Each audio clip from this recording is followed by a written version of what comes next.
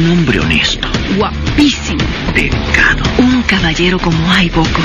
Lo tiene todo. ¿Tendrá el amor? Se aproxima a ti, a Univisión. Soy tu dueña. Gran estreno, martes primero de julio a las 9, 8 centro.